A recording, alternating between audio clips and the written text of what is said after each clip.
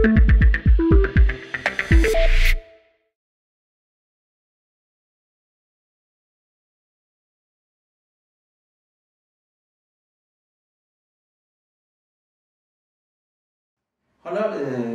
این قسمت بخش راجع به چربی یا چاقی رو ما تموم کردم. ما حالا یه دونه حالت پل می‌زنیم که ببینیم چه عوارضی چاقی به خصوص در رابطه با بیماری قند نوع دو وجود داره. ما همینطوری که می‌دونیم بیماری قند دو نوع هست یکی ما بهش میگیم مریضی قند نوع یک یک نوع دیگر هست مریضی قند نوع دو. مریضی نوع قند یک این ربطی دایرکت مستقیم به چاقی یا چربی نداره.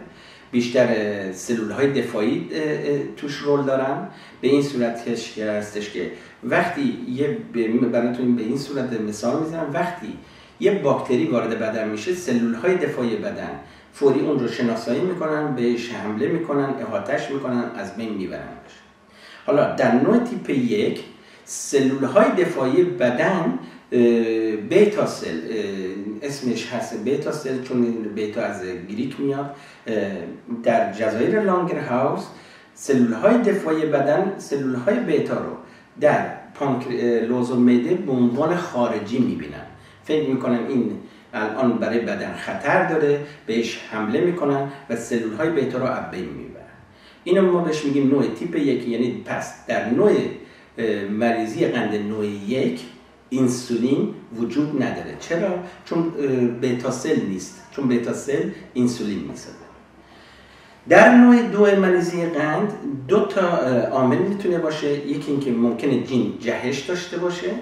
وقتی جینی کار نکنه مثل لپتین که ما بهش میگیم پروتئین لپتین لپتین یک نوع پروتئینیه بهش میگیم ساتیتی پروتئین یا پروتئینی که وقتی شما غذا می‌خورید سیر میشین این پروتئین ترشح می‌کنه میگه بس شما دیگه سیرید یعنی دیگه جا نداری غذا نخور. این پروتئین بهتون سیگنال میده هدایتتون می‌کنه شما دیگه جا احتیاج نداری به انرژی.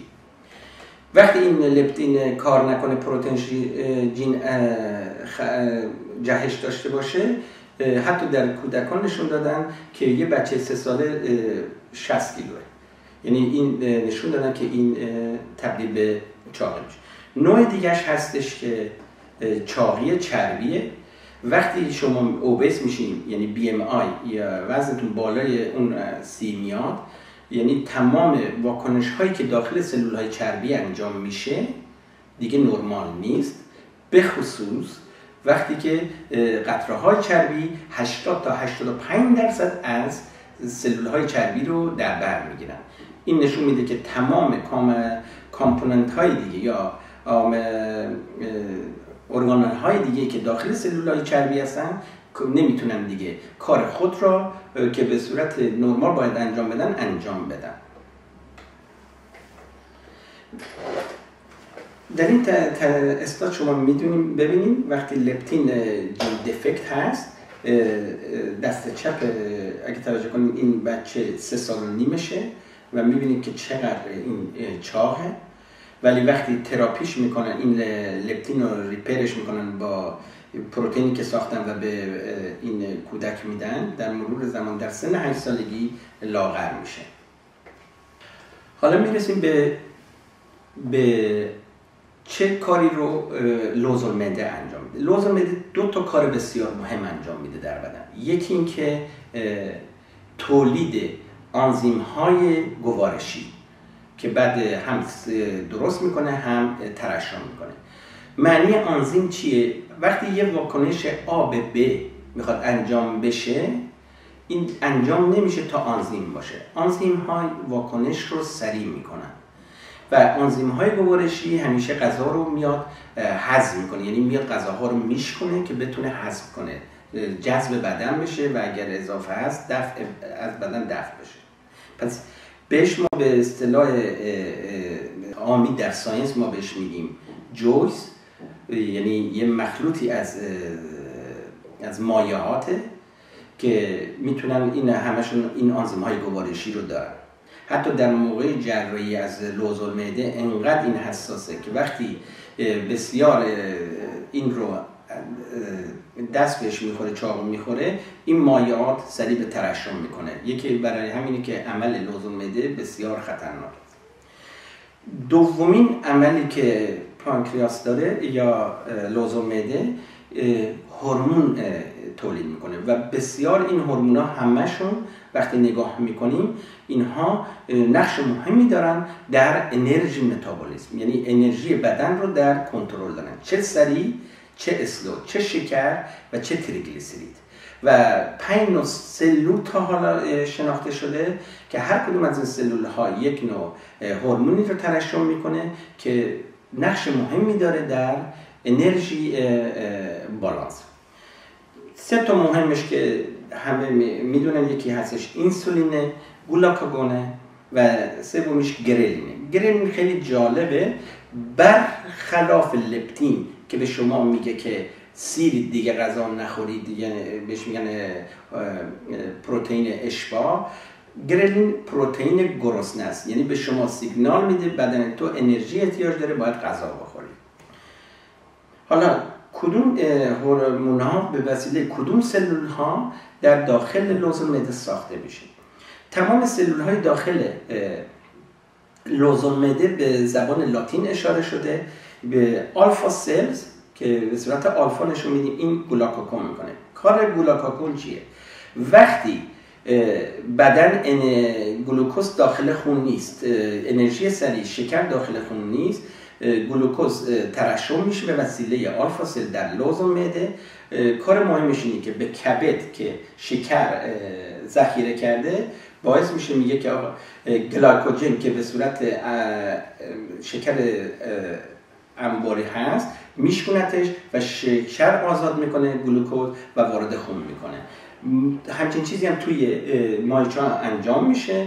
ولی کاری که تو کبد انجام میشه بسیار سریعه که بتونه سریع با شکر به خون برسه و از طریق خون به تمام جایی که احتیاج به انرژی هست برسه. بیتا سل اینسولین رو ترشح می‌کنه. اینسولین کار بسیار مهمی داره. یکی اینکه که گلوکوز از تخم ور میداره و به بافتا و سلول ها میرسونه و به این صورت انرژی رو تهیه می‌بینه برای تمام سلول های بدن. اپسیلون که گفتم این گرلین می‌کنه گرلین هورمون گرسنگیه و دلتا سلز سوماتوسین و استاتین رو ترشح می‌کنه که باعث میشه که گولاکوگون و انسولین رو کارشون رو جلوگیری می‌کنه و گاما سلز پولیپپتاید ترشح می‌کنه که این درست برعکس سوماتو استاتین کاربرد داره.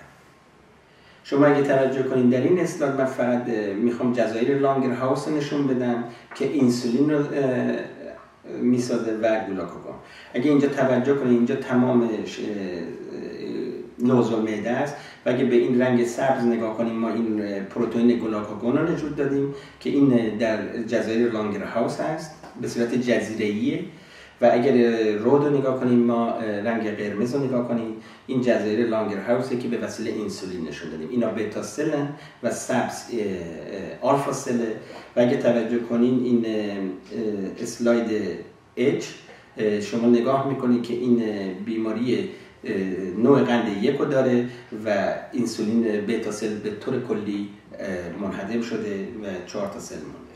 و حتی و آبیا رنگ آبی نشون میده که اینا نوکلوس هستن یعنی مرکز و تمام کارهایی که داخل سل انجام میشه به وسیله نوکلوس هست. ولی در بیتا سل تمام nucleus از بین رفته. وقتی nucleus از بین میره یعنی که سلول مرده. در سال 1900 وقتی من توجه می‌کنم در سال 1922 بانتینگ انسولین رو کشف می‌کنه.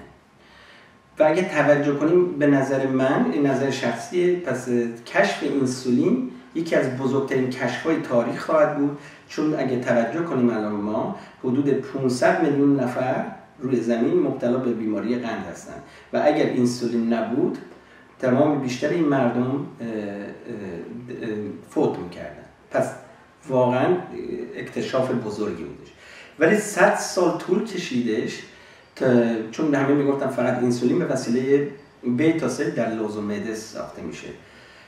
گروه ما نشون دادیم که اینسولین در بیشتر بافتا سلول ها ساخته میشه و ما در Nature چاپش کردیم به خصوص بافت های چربی همچنین اینسولین رو می‌سازن.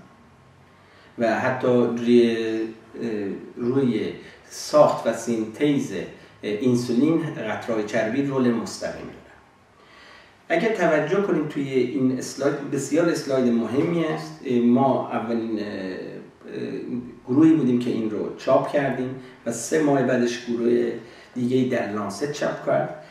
اگه توجه کنیم ما نشون دادیم که هرچی چربی بیشتر باشه توی شخص یعنی اشخاصی که چاق هستن اینسولین کنسنتریشنش غلظتشون بالاتره. اینو تا حالا که نشونن توی دنیا نشون می‌دادن که هر چقدر وزن بالاست کارکرد اینسولین پایینه.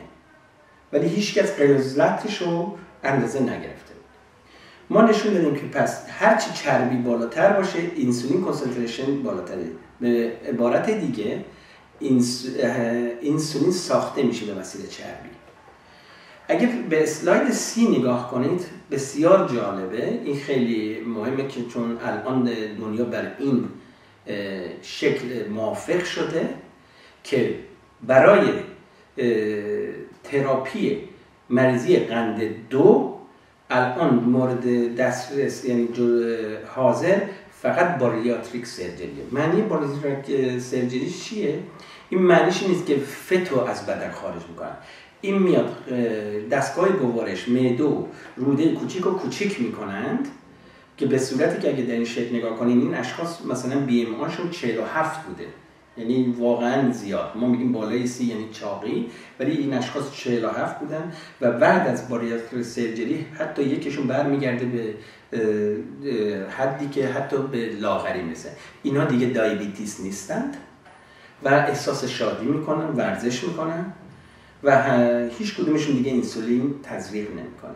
و این الان به این کار ما اولین بار نشون دادیم توی همین نیچه و الان تثبیت شده در دنیا حتی دو هفته پیش نشون دادن که فقط bariatric surgery مریضی نوع قند نوع قند دو رو می‌تونه تراپی کنه فعلا تا بتونیم alternative therapy رو پیدا کنیم. ببینید ما یه سیستمی داریم به من گفتم lifestyle یعنی روشی که غذا eat behavior یا چیزی که ما می‌خوریم ما بهش میگیم environment یعنی محیطی که اطراف ما هست. داخل بدن همه چی gene یا ژن ما بهش میگیم کار می‌کنه. حالا محیط روی ژن اثر می‌کنه. وقتی محیط روی ژن اثر می‌کنه در دراز مدت یا کوتاه مدت بعضی از ژن ها در کوتاه مدت اینا تغییر پیدا می‌کنن.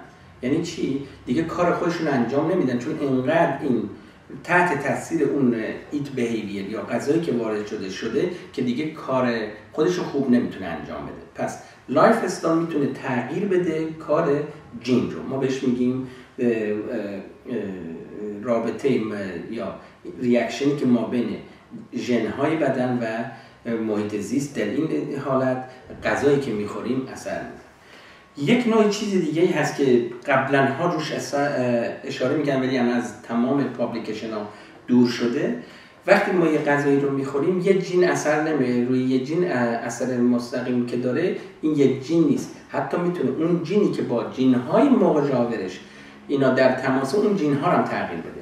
پس میشه gene gene ژن ژن و محیط زیست interaction پس باید اینو توجه داشته باشیم. غذای ما که تغییر می‌کنه بسیاری از ژن ها تغییر می‌کنه. و همینطوری یه خوبی که فقط داره چاقی reversible ه یعنی معنیش چیه؟ یعنی که شما وقتی غذا نمی‌خوریم می‌تونه دو مرتبه خودش رو ریپر کنه. این یکی از واکنش های مکانیزمیه که بدن داره برای چاقی و لاغری.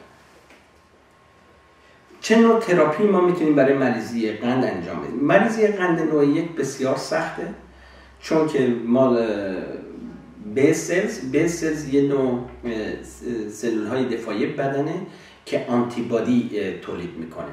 و این برای اینکه فرق ب سل با بیتا سل فرق داره اینا بایستی متوجه باشیم ب سل یک نوع سلول های دفاعی بدنه و به وسیله آنتیبادی متجاوز رو بین می‌بره. حالا بیتا سل که داخل لوز معده است و انسولین می‌سازه این به اصطلاح به عنوان غریبه می‌بینن antibody می‌سازن علیه beta cell و اونها رو نابود می‌کنن. پس برای نوع مریضی قند یک ما دو تا همزمان بایستی تراپی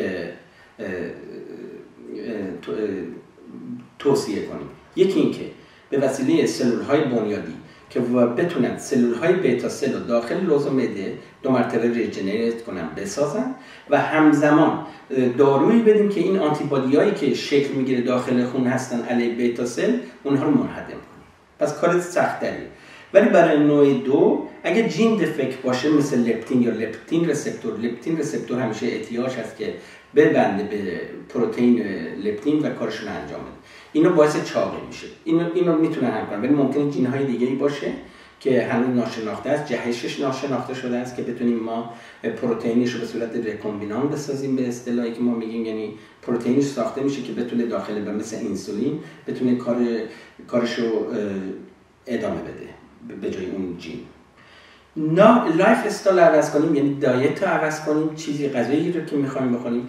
کسایی که اگه توجه کنیم من نگاه می‌کنم که کسایی که لاغر میشن و diet جدید اومده یعنی نوع eat behavior شون میگن شما دارین همه چی بخوریم به غیر از شکر. هر چیزی که شکر داره نخورید. به خاطر این هستش که وقتی شما شکر نمی‌خورید مجبور انرژی آهسته رهاشه و انرژی آهسته چربیه. لغت چربی آب میشن و چربی مصرف میشه و شما لاغر میشین در خیلی پریود کوتاه. یکیش هم باریاتریک سرجریه که الان تثبیت شده و نوع دیگرش که هنوز روش کار میشه کرد بای مارکره که بتونیم پیدا کنیم چه نوع جین هایی اینا ناقص هستن یا جهش دارن در چاقی.